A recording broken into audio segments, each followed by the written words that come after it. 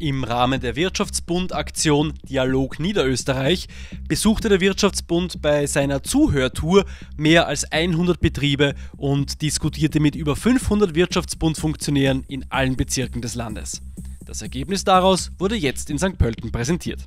Insgesamt haben wir von unserer Tour 150 Punkte mitgenommen, die wir alle jetzt in einen Forderungskatalog einarbeiten werden und daher auch unser Programm für 2025 bis 2025 aufarbeiten werden.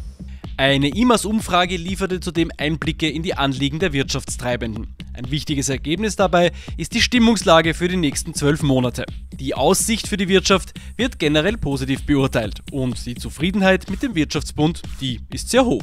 Die Mitglieder und Funktionäre des Wirtschaftsbund Niederösterreich sind sehr optimistisch, was jetzt auch die zwölf Monate betrifft. Also entweder gehen sie vom Gleichbleiben aus, aber in der direkten Differenz sieht man ein eindeutiges Bild, wo man glaubt, es wird sich eher verbessern. Acht von zehn sind einigermaßen zufrieden. Die Stimmung ist positiv, die Auftragslage ist gut.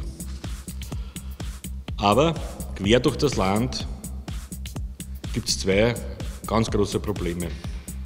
Das erste Problem ist der Mitarbeitermangel und das zweite ist der Bürokratieabbau.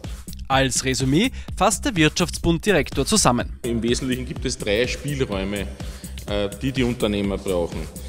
Äh, der erste Spielraum, äh, wir müssen die überbordende Bürokratie eindämmen. Der zweite Punkt, wo wir Spielraum brauchen, wir müssen dem Fachkräftemangel entgegenwirken. Und der dritte Spielraum, wir müssen die Steuern senken, damit mehr Geld im Börsal bleibt. Anhand dieser Ergebnisse wird nun der Wirtschaftsbund Niederösterreich die notwendigen Maßnahmen erstellen. Das Arbeitsprogramm dafür ist bis 2025 geplant.